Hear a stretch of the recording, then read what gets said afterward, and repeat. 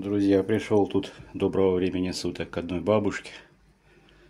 Ну, не буду там говорить, кое, кое в чем ей помог. Вот, а у нее четыре кошечки. Вот одна тут постоянно. Она говорит, вот тут, тут ляжет. Лизунья зовут. На, сквоз... э, на сквознячке. И вот. Вот она. И мурчит. И балдеет, и мурчит. Да, такая она нежная. Бабушка хоть и старенькая очень, хоть и, хоть и очень нездоровая, но кормит голубей. Тут всегда голуби к ней прилетают. Там есть водичка, и с этой стороны, и с другой стороны водичка. И у нее четыре кошечки. И всех четверых она подобрала на улице. Ну, то есть там история своя. Двоих точно, говорит, под балконом увидела или подбросил кто-то.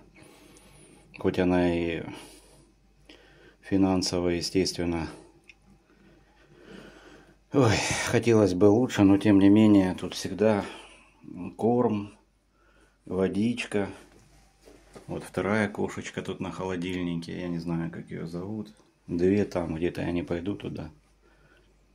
Вот, так что вот. Честь и хвала таким женщинам. И эти кошечки у нее ухоженные, и в доме ухожено. И несмотря на преклонный возраст, эта женщина дарит добро и несет свет в этот мир. Она еле передвигается, но все же выходит и доливает водичку. Еще и в близлежащем доме подкармливает замечательных хвостиков.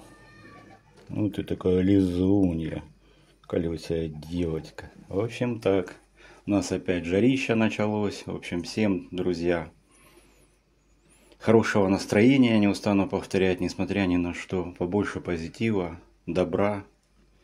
Вот. Не забывайте о друзьях наших меньших. В общем, тоже делайте небольшие, по возможности, добрые поступки.